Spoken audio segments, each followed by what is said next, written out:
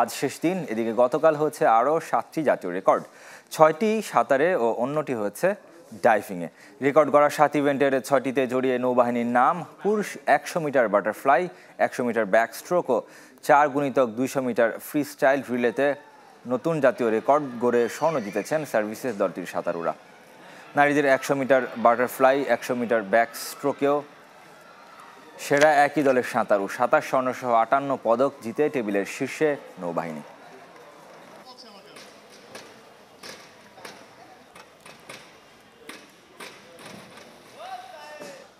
সব সময় সব দিকের সব খবর পেতে সাবস্ক্রাইব করুন এবং বেল আইকনটি প্রেস করে আপডেট থাকুন।